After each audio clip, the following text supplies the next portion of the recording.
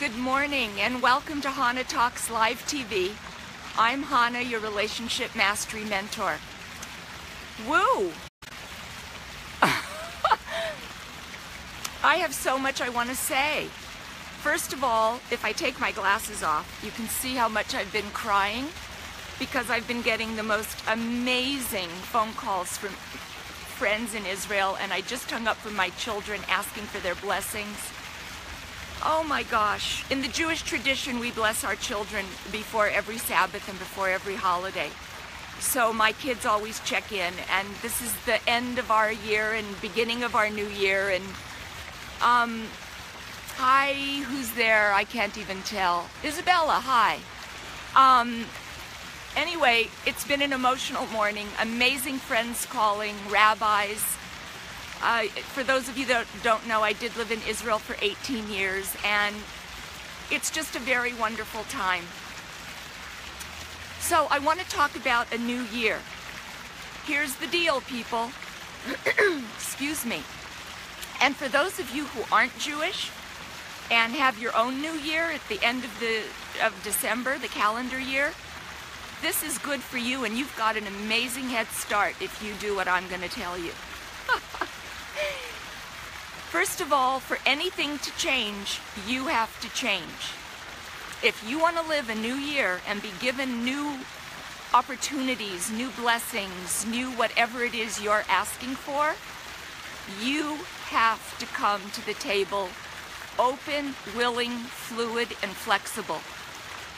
If you live your life by rules like steel encased in concrete, we don't do it like that. That's not how we did it. This is how I do it.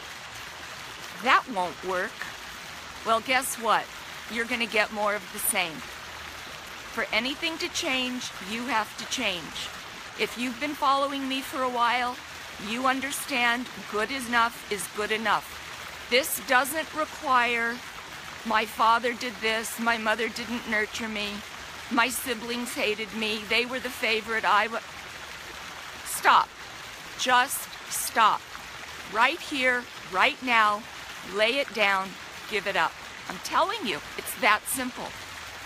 Again, if there's addiction, if there's abuse, if there's deep neurological issues, I'm not talking to you. You need a different kind of help, although anything I say is helpful, right? um, if you want anything to change, a big gift I'm going to give you here is change your perspective. Not everyone views the world through your worldview lens, right? So if you get triggered by people, one of my dear friends, my mastermind buddy in Israel said this morning, if you get triggered, just don't pick up the gun and shoot back. Okay, that's a whole different thing. But what are your triggers? What triggers you and why? Do you have you ever thought about that? And conversely, you may not be the cause of those people who do trigger you. You may not be the cause of their problems, but you are their triggers. Is there anyone right here, right now, that comes to mind that you could look at and say, wow, if I would have, how, could I view that situation differently?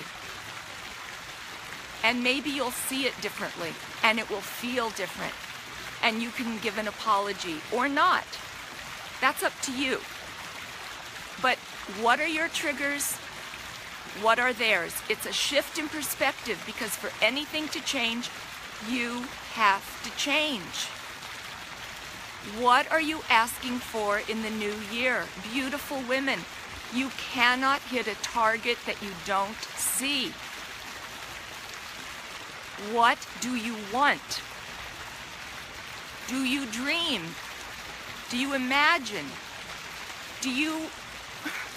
There is nothing. You know, it's, as, it's the same miracle from God to give you a free coffee at Starbucks or to find your guy. Do you dream for buttons or do you want castles? What's holding it all back? You. You. God is the creator, and he definitely has veto power. And he vetoes by saying no to some things or not giving it before we're ready. But it's your energetic vibration that you push out that Hashem, God in Hebrew, Hashem is Hebrew for God, universe source, whatever it is for you. Your higher vibration, he doesn't match your words which may which is an answer if you've been sitting on your couch praying every day for 24 years for the same thing and it hasn't come.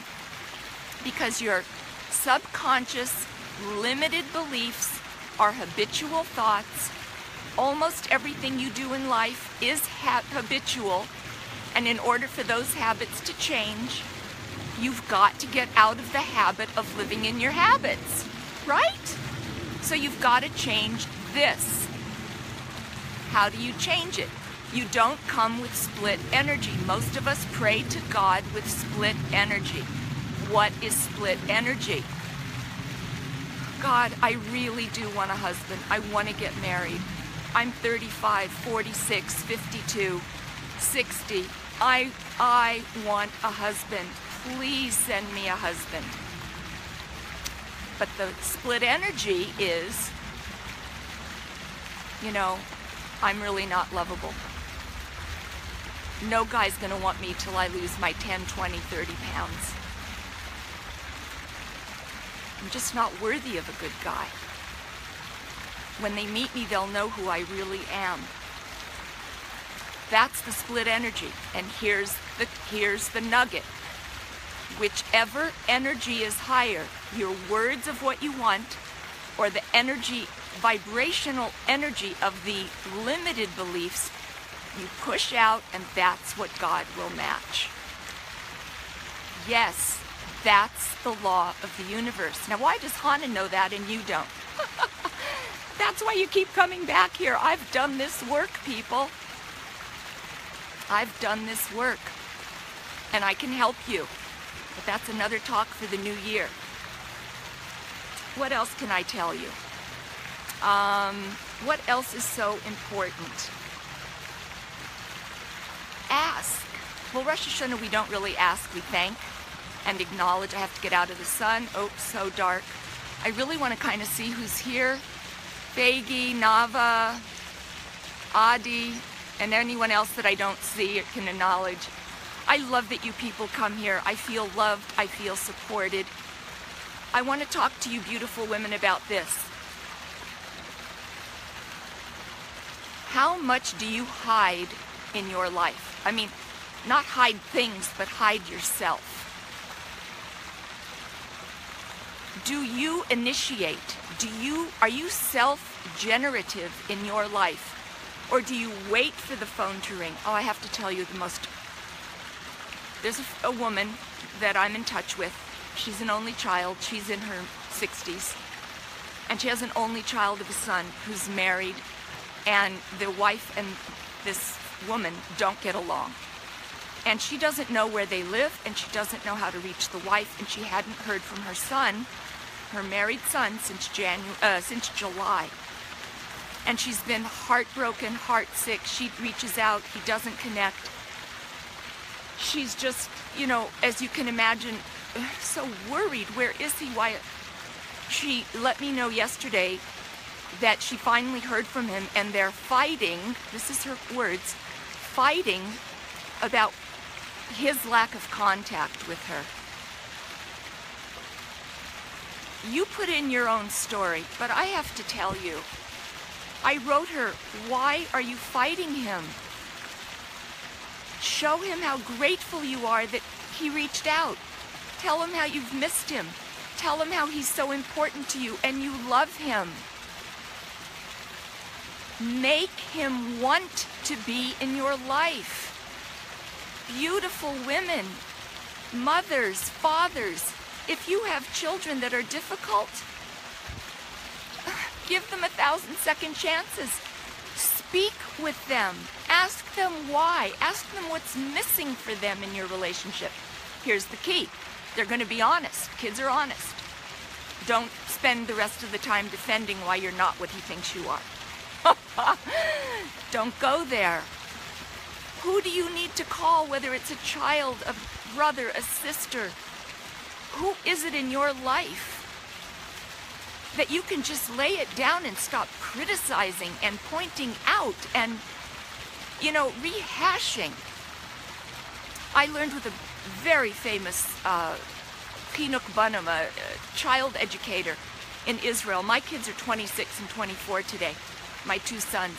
But she told me when my, when my oldest was eight, if you want your kids in your life later, you have got to make communicating with you yummier than they get on the street. And I took that lesson to heart. They used to tell me jokes. could die. if it was funny, I laughed. Three days later, I said, you know, maybe that joke is like you shouldn't tell it to your mother. Stop educating, critiquing, criticizing in the moment. In life, who can you call and just say, I love you, and I miss you, and I wanted to say hi? Period. Make people want to be in your life. It's not a free pass just because you exist. No. Okay, if anything's got to change, you have to change. Good enough is good enough. Start where you're at. Change your perspective. Give people a break and, and view from their perspective. It's not every time you shoot from your perspective, you're going to shoot it in the foot and you're going to be wrong. When we make it about ourselves, beautiful women, we overthink, we regurgitate, we fixate, and it's never a winner. What else? I love you. I love you. My wish for all of you, Kasiba v'chasima tova, for those that are Jewish, it should be an amazing, good new year. What is one thing you can shift so that you come to the new year differently that Hashem, God, will then give you differently? Because He wants to give. Here's how God does not operate. You get in your car, you put on your GPS, Walmart. The voice, Siri, comes back to you and says, Sarah, I'm not going to tell you how to get to Walmart today because yesterday you asked me how to get to Target and you didn't listen. God doesn't do that. God doesn't do that. He wants to give. It's your choice. It's your choice. It's always a choice in the moment. Pause, take a deep breath, let it in, dream it. Dream it. And I want to talk to you women about poise. I'm sending out a poise audio for my 17 gems. Poise is about equilibrium, balance, feminine. Hi, Ayala. Feminine radiance. You can't learn it. It's not about your hair. It's not about your makeup. It's not about a look. And I used to judge women who had the look for being fake and false and, uh, okay, today I don't judge anyone. God bless us all. But feminine radiance cannot be learned. It's an energy that you will have to refine, uh, find and then learn how to freely live with it. And it's on the other side of vulnerability. Where is that? Chana, tell me if that's you asking that right now, you're in your masculine energy and we don't want to be there. Poise can be learned. Poise is about balance, it's about equilibrium. It's about being who you are no matter who you meet. You meet the queen, you meet the president, or you meet the homeless. You are you. So, what does that say? That says that poise comes from an innate naturalness you are not self-aware. Here I am at my pool. Two people have joined me. you know, when they say, what do you do on that selfie stick? I tell them that I do live TV every day. Okay. Poise is a naturalness. It's a lack of self-awareness. Ladies, do you go on those dates and you just, you know, you don't eat because you just pick the food? Because what if you, you know how many women go on dates and don't eat? And do you know how many men love women that eat? So something's wrong there, right? That's a mismatch. And the men don't have to change it. Be natural, be yourself, love yourself. I love you. You are beautiful, own it. If there's anything to clean up, clean it up. Do you owe an apology? Make it. If there's anything to fix, fix it. Don't make it so dramatic and so they have to call me first and why aren't they calling and then when they call you're holding a grudge Ladies, get over yourself. It's fun. It's fluid. It's feminine. And it's fabulous when you can put together everything I just told you. I just wrapped up 99 videos in this one. I love that you tune in. I love the support. For everyone in Israel, Kasiva v'chasima tova, it should be a Shana Tova. Your prayer should be blessed. For anyone here. I will be on tomorrow. Uh, and for those that are not Jewish and have a new year three months from now, get to work. Get to work. You can create a whole new year. You've got three months. We've got 24 hours. I love you all. You are beautiful women. Own it. Own it. Go walk barefoot. Look at the sky. Smell a flower. The earth is your home. Get comfortable in it. That's it. It's about your vibrational energy. What you push out is what you get matched. I love you all. This is Chana Gilman, your relationship mastery mentor. Bye, everybody.